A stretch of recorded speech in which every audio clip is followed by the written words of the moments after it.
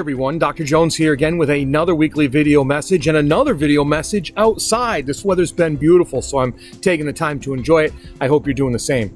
You see, this week I want to talk to you about not looking the part, not fitting in, but being comfortable with who you are.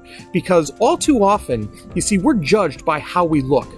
So we'll see somebody walking down the street, and if they're dressed a certain way, we instantly make a judgment on them. Vice versa, if we're walking down the street and we're dressed a certain way, people make an instant judgment about us. Let me give you an example. You see, if I go to the grocery store in the morning after I've just finished working out, so I'm in my workout clothes, I'm sweaty, and I go through the line, I'm treated a certain way. I'm talked to a certain way. Whereas if I stop at that same grocery store on my way home from work when I'm in a tie, I'm treated a different way and I'm talked to a completely different way. So, whether we like it or not, people are going to judge us based on how we look. What I'm saying to you, as you strive to not fit the mold, because we don't want to be imitations of others, we want to be the best version of ourselves. We have to be, you have to be confident enough in yourself to be able to dress the way you want, to be able to look the way you want.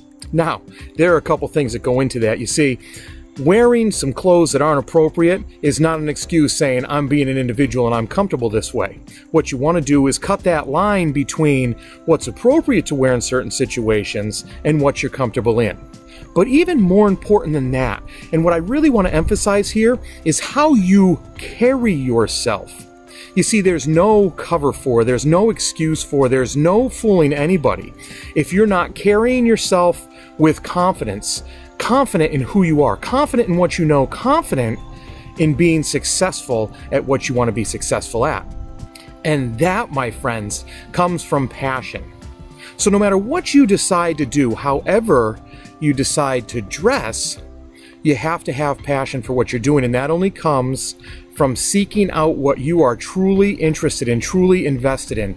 Because you can't put clothes on a person and make them look the part and have them be successful in the part. Think to the first day of school. Think to the first day of work. Think to the first day of any new experience or reset, if you will. You look a certain way, you carry yourself a certain way, you've got that excitement, that curiosity, that ready to go ness inside of you.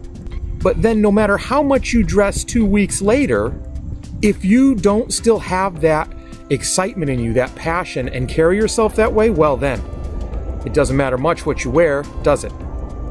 So here's the thing people are going to judge you based on how you look. Fact of life, accept it. It's not necessarily right, but that's the way things go. But what is really going to make the impact is how passionate you are about what you're doing, how well you do it, and how committed you are to getting better at it. Hey, look, thanks for listening. I really appreciate it. And if you find value in any of this, any of what I said, or you know somebody that might help them make them think, or find value in it themselves, please take the time now, like it, share it, subscribe, and you'll get them as they come out each week. And remember, be purposeful, act with integrity, and build your character. You have a great day.